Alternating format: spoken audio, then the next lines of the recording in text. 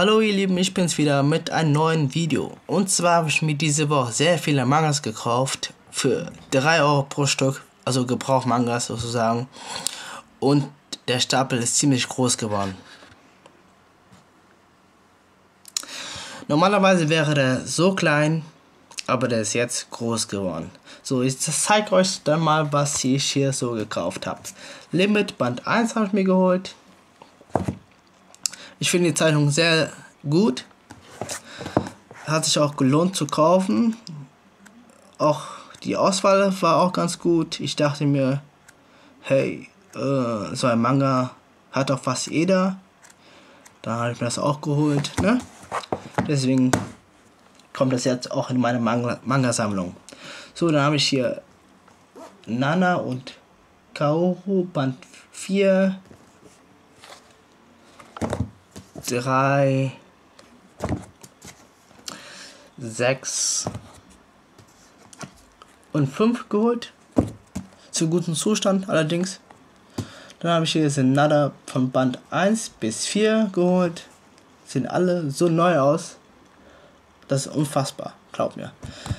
Äh, dann habe ich hier Ultimo Band 4 geholt. Ich muss die anderen Bände noch holen. Das dauert noch ein bisschen. Weil ich möchte nächstes Jahr nach Japan fliegen und ich darf nicht so viel ausgeben. Ich habe es allerdings gemacht. Naja. Ich hoffe, das ändert sich noch. Dann habe ich hier Poly, Poly Lovers Band 1 geholt. Die kosten allerdings knapp 10 Euro. Und den habe ich für 3 Euro bekommen. Gebraucht. Nicht schlecht.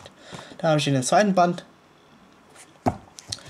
Und für alle, die das vielleicht wahrscheinlich kennen, Heavy Band 1 von dem Markt von Fairy Tail. Ich dachte mir, ich hol's, ich hol's mir den und ja, schau euch mal rein, wie die Zeichnung so ist. Sieht ganz gut aus, so wie Fairy Tail ungefähr. Ich weiß ja nicht, wie der so zeichnet, aber ja, ich schau mal dann vorbei. Dann habe ich hier Toriko Band 6 geholt. Dann kann ich weiterlesen. Dann habe ich hier noch ein paar andere geholt. Zum Beispiel The, World, The World God Only Knows. Von Band 2 bis 6 geholt. So, 6, 3, 4 und dann noch 5.